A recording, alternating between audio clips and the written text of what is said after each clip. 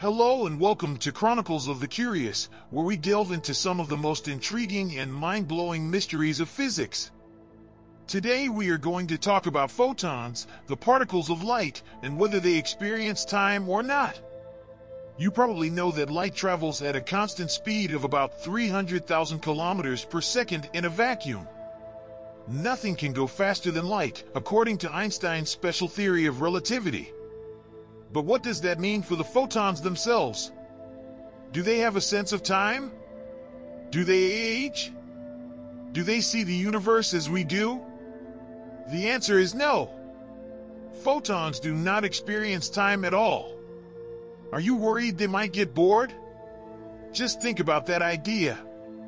From the perspective of a photon, there is no such thing as time. It's emitted and might exist for hundreds of trillions of years, but for the photon, there's zero time elapsed between when it's emitted and when it's absorbed again. It doesn't experience distance either. How is that possible? Well, it has to do with how time and space are relative to the observer. According to special relativity, the faster you move, the slower time passes for you compared to someone who is stationary or moving slower. This is called time dilation. For example, if you were on a spaceship traveling at 99% of the speed of light, one year for you would be equivalent to about seven years for someone on Earth. But what if you were traveling at exactly the speed of light? Then time would stop completely for you. You would not age at all. You would not see anything change around you. You would be frozen in an eternal present. This is what happens to photons. They are always traveling at the speed of light, so they never experience any time passing. They are essentially immortal, unless they encounter something that absorbs or scatters them. But wait, there's more! Not only do photons not experience time, they also do not experience space in the same way as we do. According to special relativity, the faster you move, the shorter your length becomes in the direction of your motion. This is called length contraction. For example, if you were on a spaceship traveling at 99% of the speed of light, your length would be reduced by a factor of about 7 compared to someone on Earth. But what if you were traveling at exactly the speed of light? Then your length would shrink to zero in the direction of your motion. You would become a point-like object with no dimensions at all. This is what happens to photons. They are always traveling at the speed of light, so they have no length in the direction of their motion.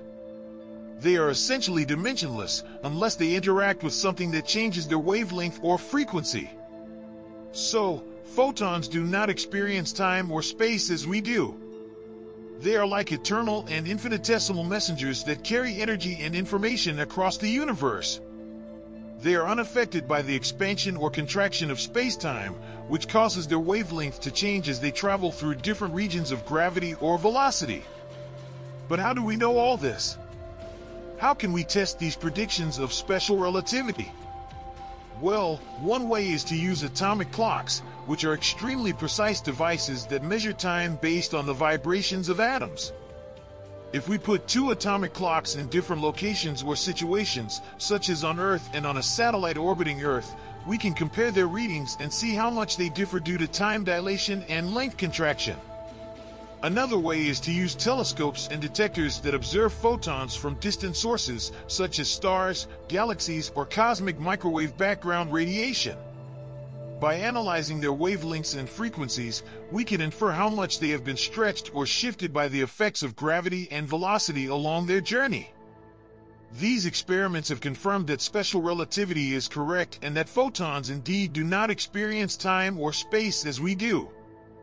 So next time you look at a starry night sky, remember that those photons have traveled for millions or billions of years without aging or changing at all until they reach your eyes and give you a glimpse of the past. Thank you for watching this episode of Chronicles of the Curious. If you enjoyed it, please like, share and subscribe for more videos like this one. And don't forget to leave your comments and questions below. See you next time.